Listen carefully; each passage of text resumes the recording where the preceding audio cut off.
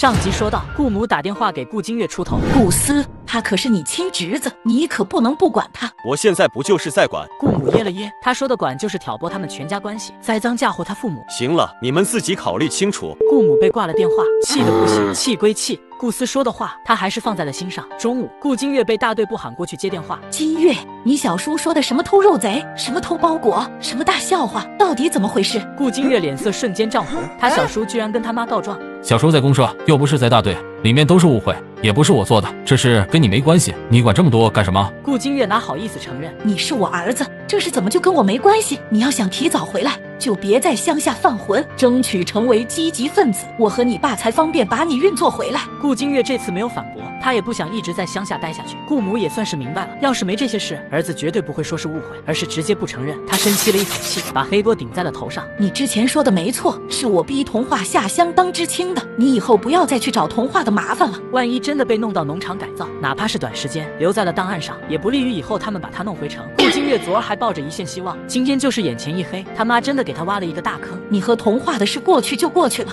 你都被你爸送到乡下来了，这件事就到此为止了。我不会接受童话再嫁进顾家来，还有孔蜜雪，你和她就更不可能。你很快就能回城，别在乡下给我搞个什么儿媳妇出来。顾母的一番慈母嘱咐，顾金月却听不进去，直接挂了电话。顾母脸色铁青，连他也挂他电话。他哪是养儿子，简直就是养祖宗。气着气着，顾母想起来一件事，他还没告诉顾金月棉袄里藏了钱的事，他怕汇款多了。顾父说他慈母多半，顾思也会拿之前的约定说事。下午，大队里发过冬的储备菜，按照工分去领，白菜、萝卜和南瓜。程队长家里光白菜就拖回去了五百斤，其他的也领了不少。顾金月排队领白菜的时候，看到童话领完离开，态度前所未有的好。童话，我帮你背回去，用不着。顾金月却不听，非要帮他把白菜挑回去。顾金月，你听不懂人话是不是？顾金月神色苦涩，他只是想帮帮他。陈卫国被自家小妹推了过来帮忙，看到似乎是找麻烦的南知青，上前几步护在了童话跟前。小童知青需要帮忙吗？陈卫国是陈队长家的老二，之前在部队参军，前几天退伍转业回来。童话见他还带着板车，惊喜道：“麻烦陈二哥帮我送一趟。”陈卫国回来后一直在办转业的事，顾金月还没见过他，现在童话竟然叫他陈二哥。童话连他亲哥都叫童老二，他怎么叫这个男人陈二哥？陈卫国看了看顾金月，挑眉看着童话：“别管他，我跟他不熟。”顾金月闻言，胸中有一团酸涩突然炸开。童话，他是谁？我是陈卫国，你是程队长家从部队转业回来的儿子？那他岂不是住的和童话很近？顾金月心里又酸了。我和童话是从小一块长大的朋友，这儿不用你帮忙，我来帮童话就行了。陈卫国从自家小妹的口中听说过童话和顾金月的事，不过他回来后也没见过顾金月。你是顾知青？顾金月脸色一变，他现在的名声可不好，对方知道他，肯定是知道了他那些名声，或许还知道了他和童话以前的关系。我是陈卫国，小童知青住在我家，我帮他送回去更方便。陈卫国相信他要把童话留给顾知青，他妹妹回去会给他一棒槌。说完，陈卫国也不管顾金月的态度，开始帮童话把分到的白菜搬到板车上去。顾金月也想插过去帮忙，刚挤进去就被童话一把扯了出去，滚蛋！童春树在不远处喊：“顾哥，你干嘛呢？马上要发萝卜了，我们得先把白菜送回去。”顾金月只能回到那边去了。顾哥哥，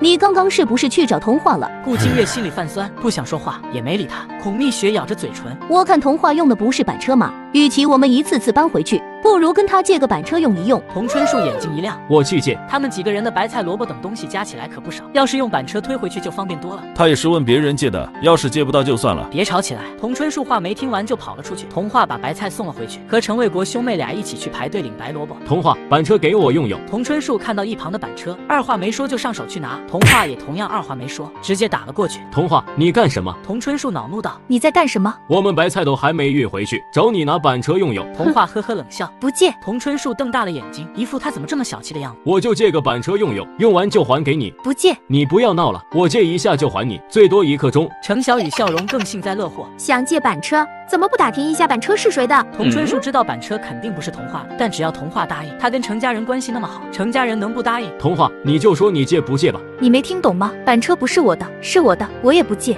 你说给我用，他还能不答应？我为什么要给你用？他为什么要答应借给你用？你算哪根大葱，哪颗大瓣蒜？童春树觉得童话也太不可理喻了，亲兄弟姐妹，他一点情分都不讲。他们挨他打的时候，不管疼成什么样，也没真正还过手。他怎么能这么无情？你借不借？童春树气恼问程小雨，他和童话关系系那么好，他可是童话的亲弟弟，他应该知道怎么做吧？不借。童春树气得昏了头。你为什么不借？你不是童话的朋友吗？你不是口口声声喊童话姐姐吗？她可是我亲姐。童话气笑了，蹦起来在童春树的头上狠狠地敲了上去。程小雨见状笑不可支。